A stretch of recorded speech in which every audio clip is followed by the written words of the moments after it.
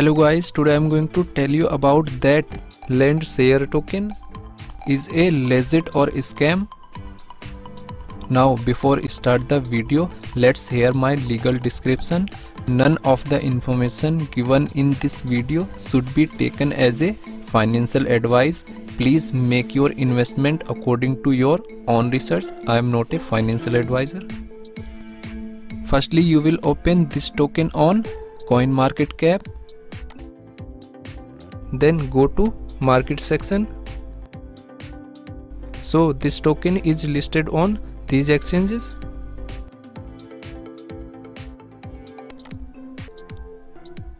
After that you will check public comment like bullish and bearish comment.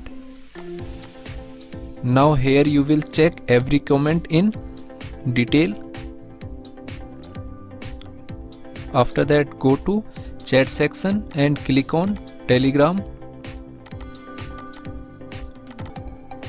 Now you will open this token on telegram. And here you will search scam.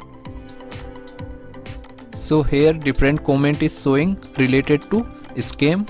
You will check every comment in detail after that go to coin market cap. Then you will copy this address and open PooCoin exchange. Now here you will paste address. Then you will open this token.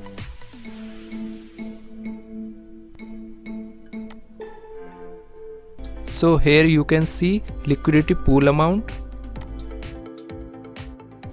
and here you can check buying and selling activity of this token. And finally you will open this token on pancakeswap then click on cake. Now here you will again paste token address. Then click on import. Click on I understand and re-click on import.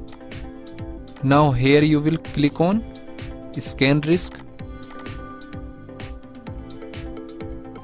so pancakeswap is saying that Landshare token buying risk is low.